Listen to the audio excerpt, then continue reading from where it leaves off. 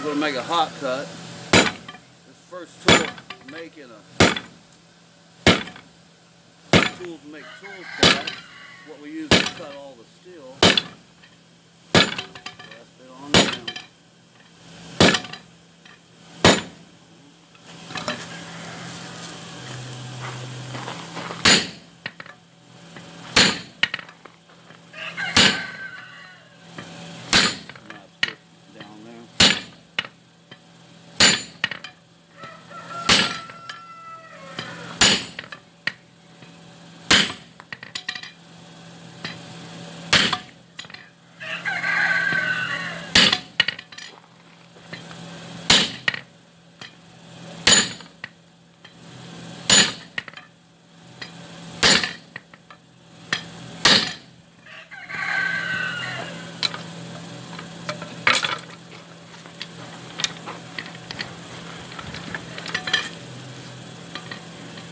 Mark the photo.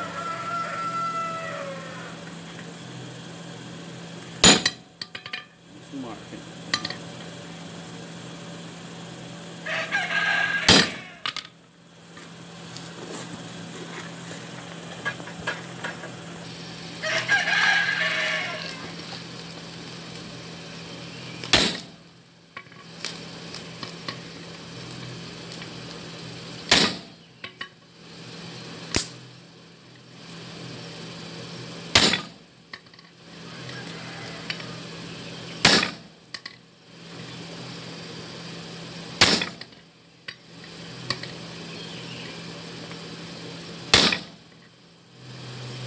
Almost. Okay. So now, mark it for cutting.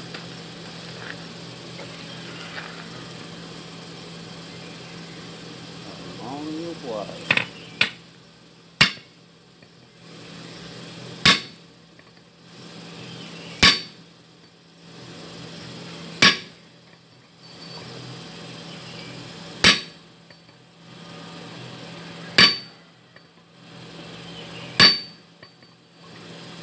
This is one of few tools that I will cut with a top and bottom hot cut. Uh, just because it's a flared tool. Most tools I wouldn't do that with. Right now I'm just marking for the cut. I'm going to try and make a meet. I'm a little bit off on it.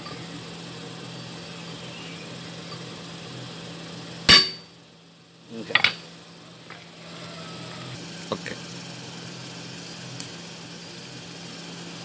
I'll go ahead and cut this by hand just to show you how the hot cut works. Yeah, this tool is one of the few that I, I'll use a top one to start people out on so they get used to finesse instead of just power all the time before they punch a hole. The next tool in the class is a hammer. So this can teach them a little bit of you know, trying to hit exactly where on the top tool before we actually make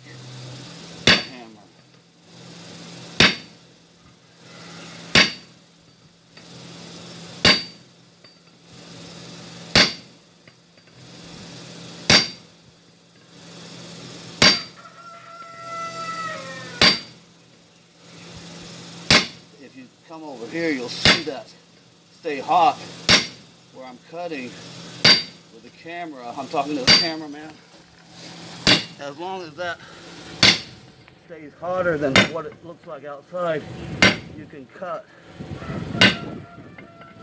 Now I could put that back in too, but if I can maintain that metal glowing with a little surface hitting it, you can still cut. And I try not to cut up all the way. There.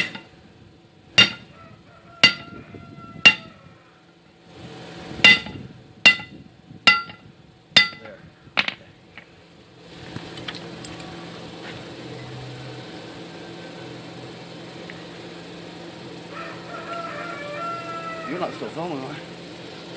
You're not.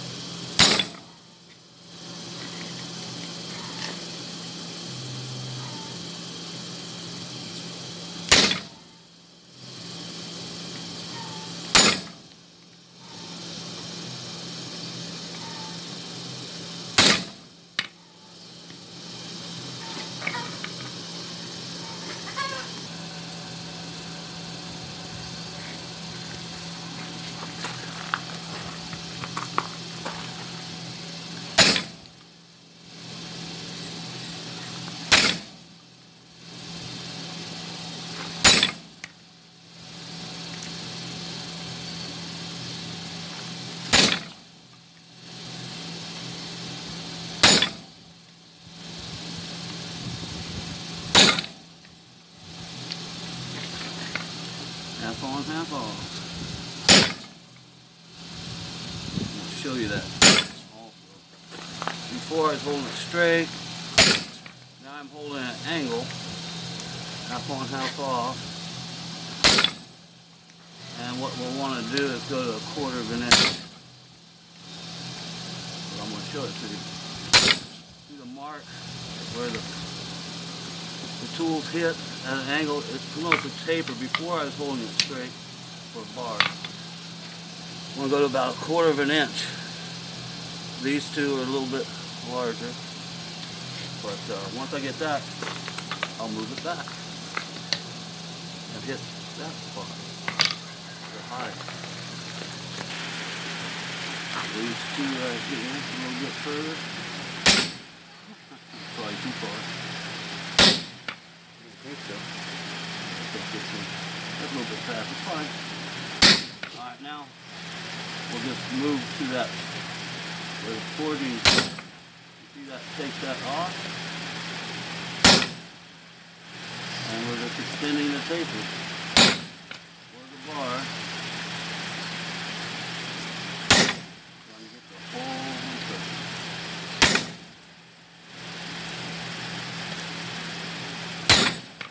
people wonder why the trough line, I've heard it said many times, it's just like on a hammer. It divides up this shank from where you're going to be forging. If you were to leave that to full size, it'd take a lot more work to get that down to that taper. And you probably wouldn't get that taper without it being real long. Very long.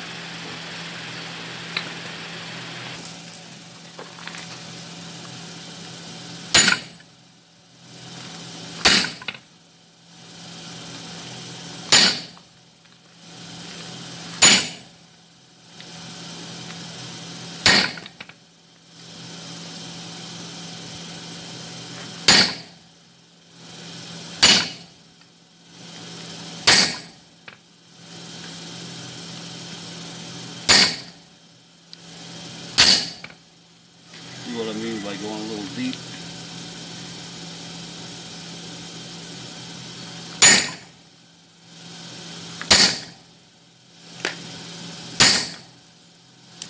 Hard to get those fuller lines off. Lighten up.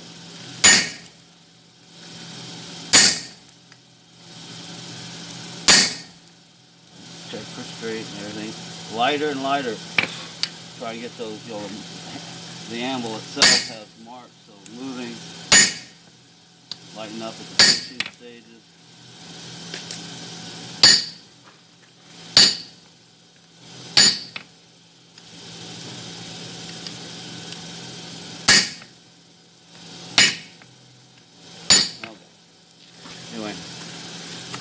That's uh, the forging.